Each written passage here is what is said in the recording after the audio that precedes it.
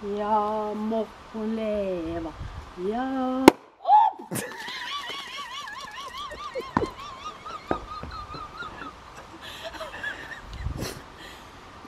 Ja. Stort mer elegant kan det vel egentlig ikke gjøres. Gratulerer med dagen, kjære, kjære, kjære Merete.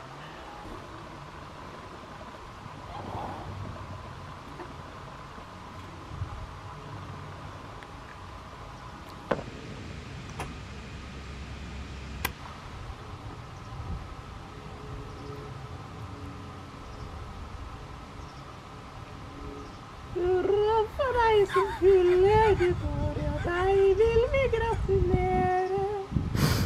Alle i ring omkring deg vi står og se, nå vil vi marsjere. Kokken, vekker meg og snu omkring. Danse for deg med hopp og sprett og spreng.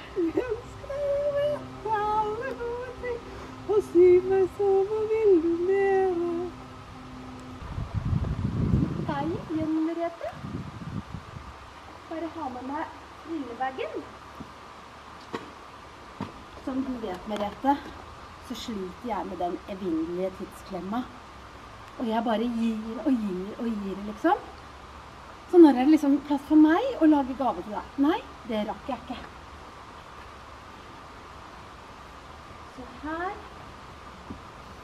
har du gaven i et byggesett. Dette er en rulleramme som vi har brukt til fotografering. Og inni her er en tavle. Der kan du skrive gode råd til deg selv. De gode rådene som du gir til andre, håper jeg virkelig du får glede av selv også. Og det jeg hadde planlagt, var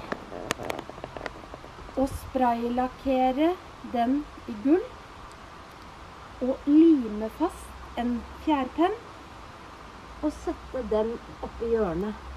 Og du kan tro jeg har sett det for meg i mange tanker. Jeg til og med en egen mappe på, på Mac-en min hvor, det, hvor liksom planene knytta til dette prosjektet skulle samles. Så Men det er en tidsklemma.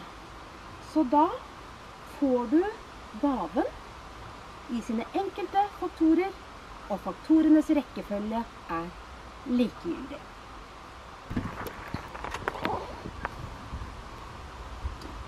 Hei. Nå, som du skjønner, går denne filmen mot sin ende.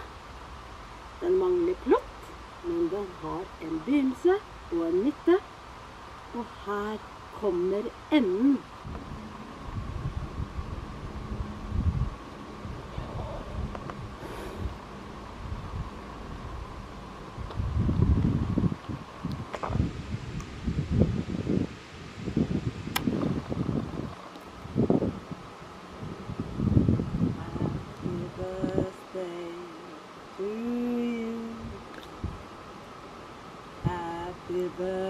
Birthday to you.